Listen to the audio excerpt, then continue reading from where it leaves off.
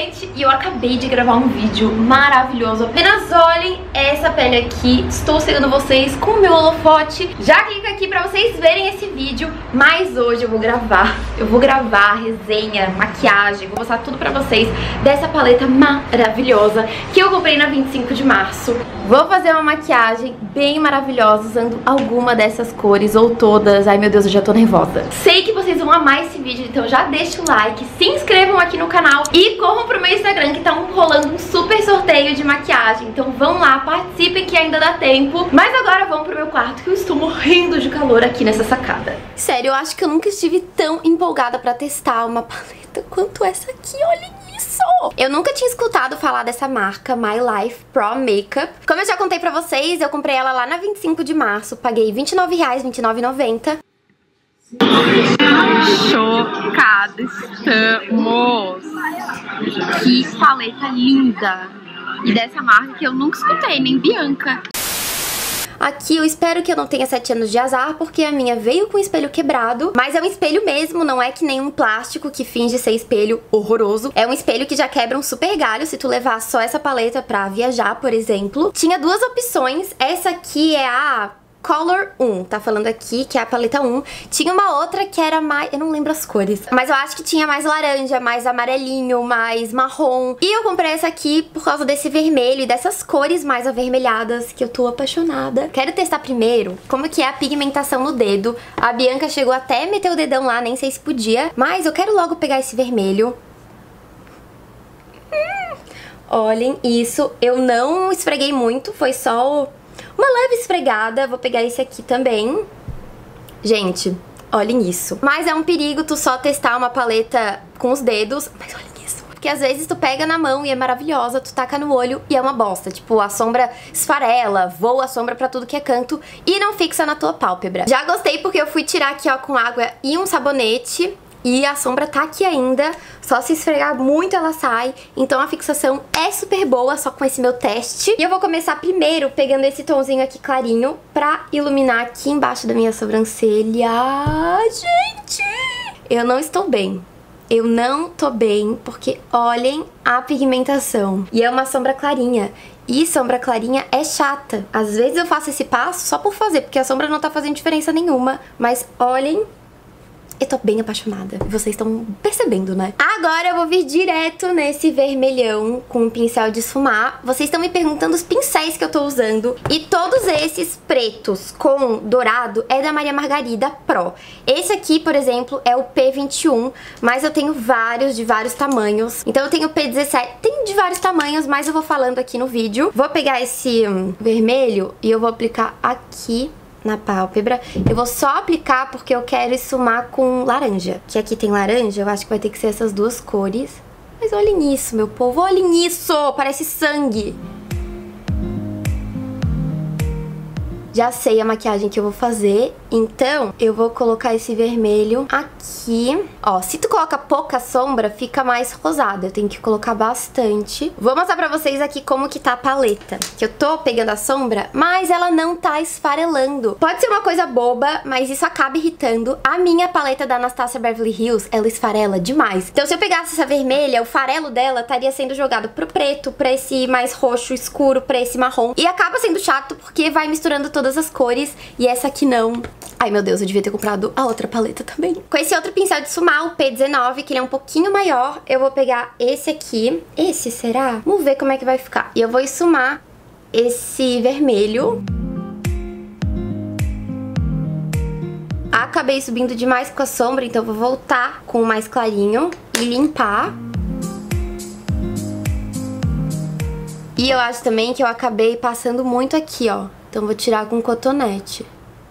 Me empolguei, gente, me empolguei. Com esse aqui, que é um pouquinho mais escuro, eu vou aplicar nos cantos pra ficar mais escuro. Achei também que sumou super bem. Mas como os tons são meio parecidos, parece que eu só peguei a sombra vermelha e esfumei. Meio mal esfumado, mas peraí. Tô vindo aqui com o pincel de esfumar é, sem nada pra começar a esfumar. Aqui. Outra coisa que eu tô percebendo é que não tá caindo muita sombra. Pra não dizer que não caiu nada, caiu bem pouquinho aqui, ó. já tirei com o pincel. E vou começar a fazer esse olho pra eu não me perder.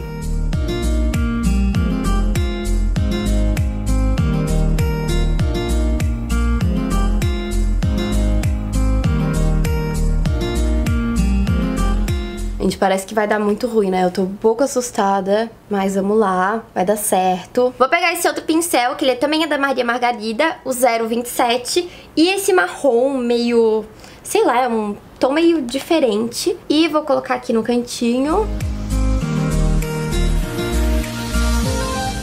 Esse aqui não tá parecendo muito pigmentado. E esse também já tá esfarelando mais aqui na paleta.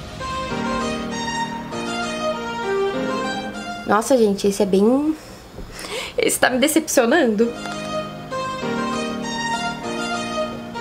Eu vou me arriscar e pegar esse aqui, só que não é preto. Ele é tipo um verde bem escuro. Vou tentar colocar ele aqui pra ver se fica mais pigmentado, mas eu acho que não. Olhem só. Eu acho que o que é pigmentado são as cores mais claras e as coloridas, porque eu acho que quando eu esfumar essa sombra vai sair toda. E também já caiu mais aqui embaixo, porque ela esfarela mais. Com o pincel língua de gato e o corretivo da Vult cremoso, eu vou fazer aquele cut, mas na verdade só é aquele aqui, ó. Sabe que só é o meio? Eu acho essa técnica linda, vou tentar fazer, nunca fiz.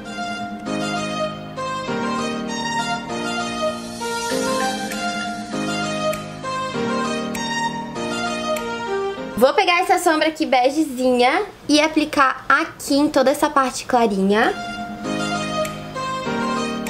Porém ficou bem feio, então eu não vou colocar mais ela. Eu vou aplicar essa aqui, ó, que é uma sombra muito maravilhosa e esse pincel tá duro, mas eu vou tentar aplicar aqui bem direitinho, mas eu acho que não vai aparecer todo esse meu cut perfeito.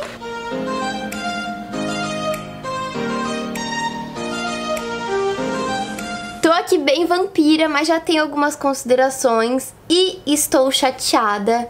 Primeiro que meu cut não deu certo, porque a cor bege ficou muito feia. E daí eu fui colocar essa sombra mais brilhante, e daí nem apareceu, né? Que a graça era ficar ali o meio bem clarinho. Segundo, é que as sombras escuras, elas não pigmentam e deixa meio, sei lá, parece manchado no olho. Não gostei. A sombra brilhante já não é tão brilhante assim. Eu vou até pegar aqui no dedo Ó, no dedo ela é bem pigmentada, mas quando tu aplica ela não fica assim bem, bem brilhante. Ela é uma sombra cintilante, não é bem glitterinada, então parece que meu olho tá todo de uma cor só, só o cantinho externo que tá mais escuro, mas não tá um escuro bonito, ele tá meio manchado e eu não tô conseguindo arrumar junto com essa sombra cintilante, sei lá, tá ficando um pouco esquisito. Gente, tô chateada. A sombra vermelha é super maravilhosa, bem pigmentada. Mas agora eu vou tentar terminar esse olho pra dar certo, pra pelo menos eu conseguir tirar uma foto. Colei aqui o meu pavão e eu tô achando um pouco esquisito ainda esse olho. Não sei, gente, pensei que eu ia ficar mais maravilhosa e eu não tô me sentindo assim. Vou pegar aqui um iluminador, esse aqui é da Luisance, e o mais clarinho, eu vou iluminar esse cantinho interno, que eu tô achando que tá muito escuro. Deixa eu ver se assim fica um pouco melhor. Eu acho que eu prefiro. O que, que vocês acham? E eu vou terminar a maquiagem com o quê? Com o meu gloss. Esse aqui é o gloss de criança, que eu comprei por 3 reais. Final a maquiagem ficou assim, confesso estar um pouquinho decepcionada com essa paleta, porque eu tava muito empolgada, vocês viram. Mas eu ainda quero fazer outras maquiagens usando ela, porque assim, foram 29 reais, que eu achei que eu tava fazendo um puta negócio, então eu vou fazer essa paleta ser maravilhosa. Quero saber se alguém já testou ela, então deixa aqui nos comentários, comentem a opinião de vocês sobre essa maquiagem meio vampiresca, e eu acho que eu colei o cílio um pouco pra fora demais. Já corre no meu Instagram, que eu vou deixar o link aqui embaixo pra vocês participarem do super sorteio. Se inscrevam no canal, deixa o like no vídeo. E é isso, gente. Um super beijo e até o próximo. Tchau!